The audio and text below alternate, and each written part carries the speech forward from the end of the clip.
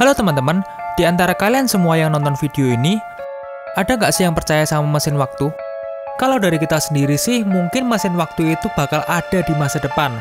Tapi mungkin cuma bisa maju ke masa depan dan tidak bisa pergi ke masa lalu seperti yang ada di video sebelumnya. Tapi nih tapi, kalau kalian baca-baca berita, ada cerita di mana orang datang dari masa depan. Gini loh ceritanya. Pada tahun 2018, tepatnya tanggal 23 Februari, ada sebuah video di YouTube di mana ada seorang pria yang mengaku lahir pada tahun 2043.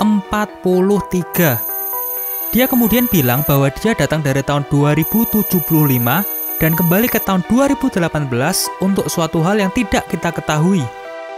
Di dalam video itu, dia juga mengatakan bahwa Perang Dunia Ketiga akan dimulai pada tahun 2020, tapi hanya berlangsung selama tiga tahun. Walaupun cuma tiga tahun, katanya korban jiwanya banyak banget. Dalam video yang lain, dia juga mengatakan bahwa ternyata kejadian 9-11 adalah hal yang disengaja oleh penjelajah waktu yang lain, dengan tujuan untuk membuat Amerika lebih solid. Dan kenyataannya di tahun 2004, di dalam negara Amerika itu sendiri nggak ada perang kan? Ya, seingat kita gitu sih. Oke, kita simpen dulu ya ceritanya. Kita melompat ke cerita yang lain. Dulu di tahun 2000, ada sebuah acara di radio yang mendapat pesan dari orang yang mengaku sebagai anggota militer di Amerika Serikat di tahun 2036 yang mengemban misi ke tahun 1975 untuk mengambil sebuah komputer portable pertama di dunia, yaitu IBM 5100.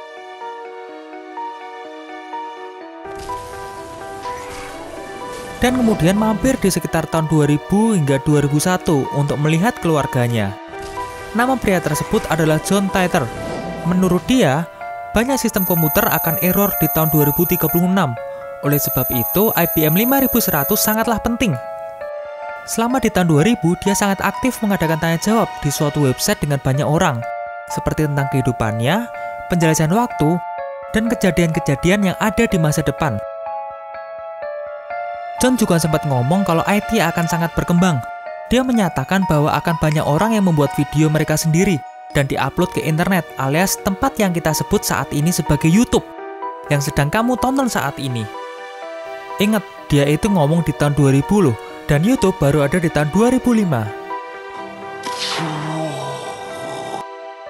Ramalan John Titor yang paling mengerikan adalah, di tahun 2000, John pernah bercerita bahwa New York akan ada peristiwa besar, di mana dua gedung pencakar langit akan hilang dalam waktu dekat. Tahu nggak apa? Yes, 9-11. Oke, sampai sini ceritanya pada nangkep kan ya?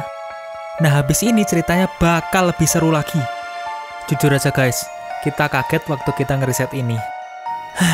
Oke, untuk cerita yang udah kalian dengar tadi, itu tadi adalah beberapa informasi yang benar-benar terjadi. Tapi ada beberapa juga yang tidak pernah terjadi. Contohnya nih, perang saudara yang katanya akan terjadi di Amerika pada tahun 2004. Tapi kenyataannya enggak kan? Lalu kemudian apakah semua itu bohong? Bentar, tunggu dulu. Coba deh kita balik lagi ke penjelajah waktu yang sebelumnya. Dalam keterangan Michael, dia mengatakan bahwa John Titerlah dalang dari peristiwa 9-11. Menurut Michael lagi nih, John Titor sengaja melancarkan aksi itu karena ingin mencegah perang saudara yang akan terjadi di tahun 2004. Hmm, bentar-bentar. Jadi John Ritter itu adalah orang yang asalnya dari masa depan dan kemudian kembali ke masa lalu untuk suatu misi. Nah kemudian di tahun 2000 dia ngomong kalau di tahun 2004, 4 tahun kemudian akan ada perang saudara di Amerika Serikat. Tapi kan nggak terjadi tuh, karena tahun 2001 John Titor datang, kemudian dia melancarkan aksinya dalam peristiwa 9-11. Dan misinya berhasil, perang saudara nggak terjadi di tahun 2004. Nah berarti logikanya, dia berhasil merubah sejarah dong sejarah pada zaman dia. Terus kita jadi mikir nih, jika perang saudara aja bisa dicegah dengan peristiwa 9-11, mungkin nggak sih wabah virus corona yang terjadi saat ini adalah ulah penjelajah waktu lain untuk mencegah perang dunia ketiga yang akan terjadi di tahun 2020?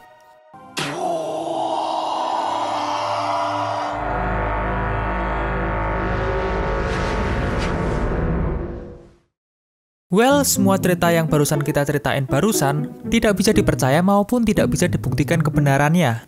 Tapi dari beberapa orang yang nonton video ini, pasti ada yang percaya.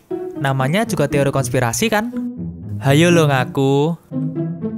Bagi orang Indonesia, teori konspirasi bukanlah suatu hal yang asing. Tahu tentang teori konspirasi bumi datar kan?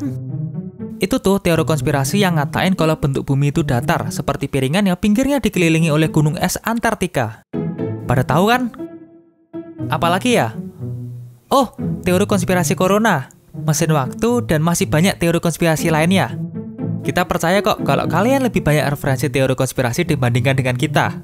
Haha. Nah, kalau kita lihat secara lebih luas lagi, ada suatu pola yang selalu terjadi di setiap teori konspirasi dan kalau diartikan secara luas juga, teori konspirasi itu intinya ya, sebuah kepercayaan bahwa ada organisasi di luar sana yang sifatnya rahasia banget dan punya tujuan yang jahat. Coba deh misalnya, teori bumi datar direncanakan oleh organisasi besar dan berkuasa, cek. Punya tujuan yang jahat, cek juga kan? Apalagi coba, teori konspirasi corona direncanakan oleh organisasi yang besar dan berkuasa, ada tuh, ada dari Cina, Indonesia, dan segala macamnya. Ada semua kan? Mereka punya tujuan yang jahat? Ada, untuk kepentingan pribadi pastinya, ya kan? Tapi Min, saya mah orangnya nggak gampang kena pengaruh konspirasi kok. Well, jangan terlalu yakin dulu. Gini, ada sebuah penelitian yang mengatakan bahwa teori konspirasi bisa kena ke cewek, cowok, kaya, miskin, cebong, kampret, kadrun, orang pinter maupun orang yang bodoh. Pokoknya semua orang deh. Alias singkatnya banget nih, otak kita secara nggak sadar suka banget sama teori konspirasi. Kenapa? Gini cara kerjanya. Setiap hari, setiap menit, kita selalu menerima informasi kan? Apa pun itu. Nah dari situ otak kita bekerja untuk mencari sebuah pola untuk dibentuk menjadi sebuah logika. Contohnya nih, waktu kita lagi nyetir dan lihat lampu kuning di perempatan, tanpa pikir panjang kita langsung ngegas pol mobil kita karena kita tahu habis lampu kuning pasti lampu merah. Ya nggak? Tapi nggak boleh lo dilakuin, itu bahaya. Contohnya, saat kita lagi nyetir dan kita lihat lampu kuning di perempatan, tanpa pikir panjang kita langsung mikir untuk mengerem. Karena kita tahu habis itu pasti lampu merah dan kita harus berhenti.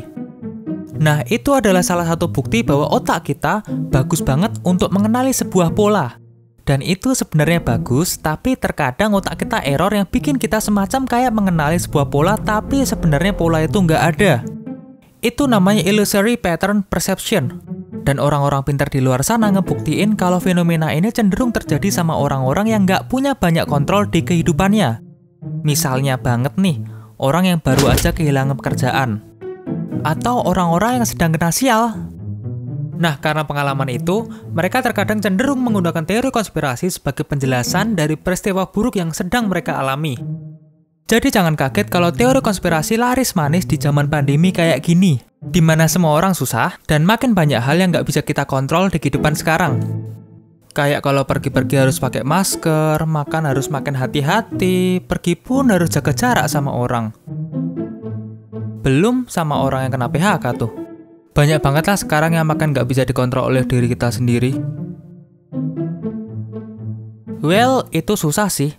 Soalnya teori konspirasi hampir tidak pernah berdasarkan fakta atau bukti, alias hanya berdasarkan kepercayaan yang tidak bisa dibuktikan. Dan terkadang keyakinan yang buta ini dipengaruhi oleh kondisi psikologi seseorang. Padahal ya bisa disalahkan dan bisa dibuktikan adalah landasan utama dari setiap teori ilmiah yang ada. Contohnya ada penelitian yang mengatakan bahwa setiap makhluk hidup dibentuk dari sel-sel kecil.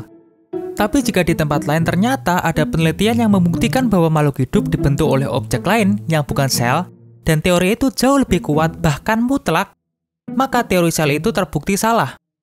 Buat lebih jelasnya, biasanya kalau ngobrol sama orang yang percaya sama teori konspirasi itu kayak gini nih. Bro, bro, tahu nggak kalau bumi itu datar?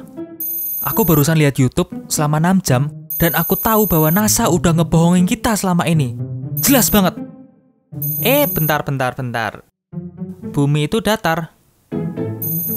Iya bro, ternyata bumi itu datar. NASA ternyata ngepalsuin pendaratan di bulan cuma untuk kepentingan mereka dan negara mereka doang.